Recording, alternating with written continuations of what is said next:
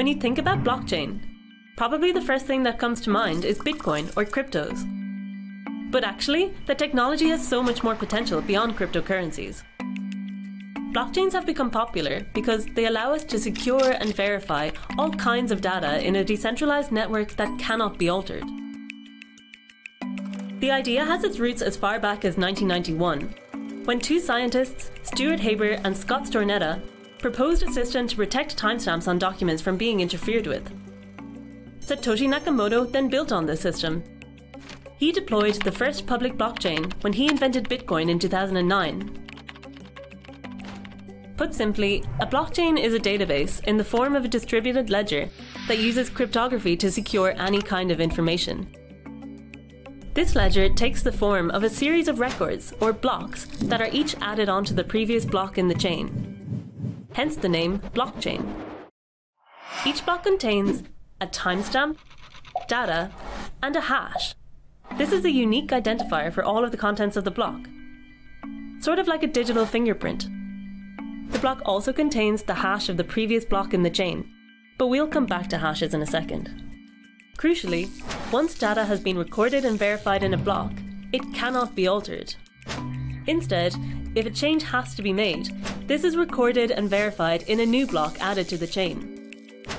Therefore, each new block reinforces the verification of the previous block, and hence the entire blockchain. Now, let's get back to hashes. These are the backbone of blockchain technology.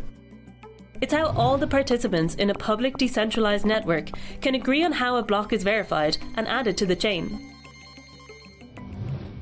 Cryptographic hash function is basically a mathematical algorithm that maps data of arbitrary length to an output of fixed length.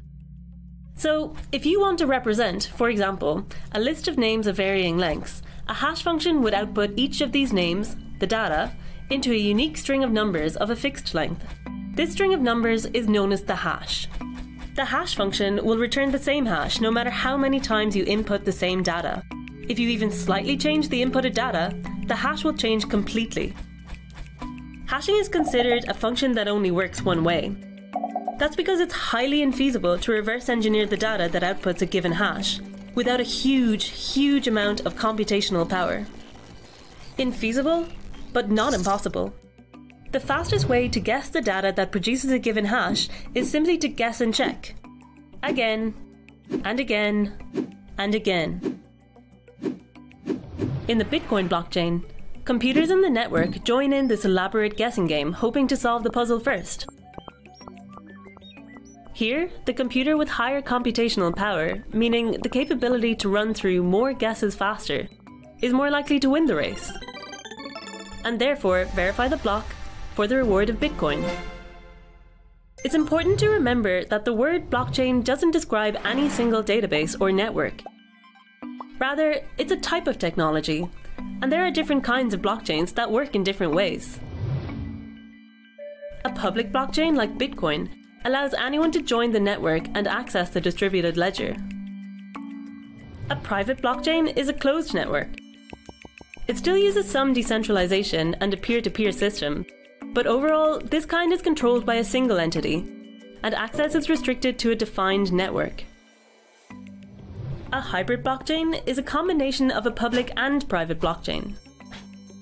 This kind of blockchain allows an entity to distribute a ledger with some publicly accessible data, but also restrict access to more sensitive data within the network.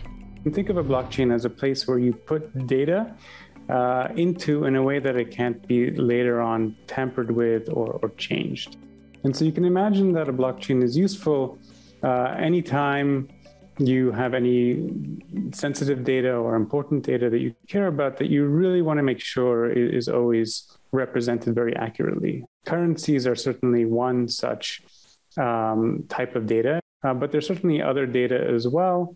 Uh, increasingly, people have uh, used the state of a program, the actual program itself, as something that they want to put into one of these blockchains and have effectively run in a way that can't be tampered with. There's a um, a phrase for this called smart contracts, and increasingly, a lot of new uh, blockchains are, are allowing you to effectively program them in a way that can't be tampered, in a way that can't be changed.